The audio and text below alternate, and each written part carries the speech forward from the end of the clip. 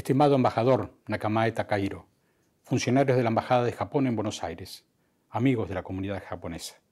me es muy grato acompañar y felicitar al pueblo y al gobierno de Japón por la conmemoración el próximo 23 de febrero del natalicio de Su Majestad el Emperador Naruhito. Hace 124 años nuestros dos países establecieron relaciones diplomáticas y por más de un siglo una significativa comunidad de descendientes de japoneses se estableció e integró en nuestro país,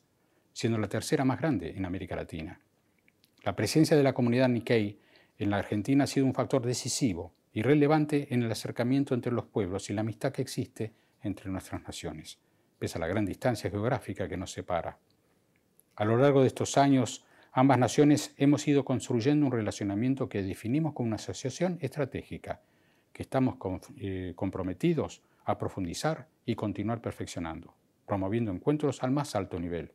Esta asociación está fundada en valores y principios compartidos como el respeto a la democracia, el Estado de Derecho, la promoción y protección de los derechos humanos, el multilateralismo y la solución pacífica de controversias.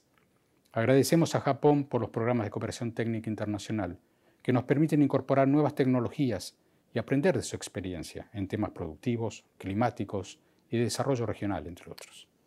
En este contexto, tenemos un amplio espacio para crecer, especialmente en el ámbito del comercio y las inversiones y en temas innovadores como las energías renovables, la minería, la cooperación en materia de hidrógeno, amoníaco y la economía del conocimiento.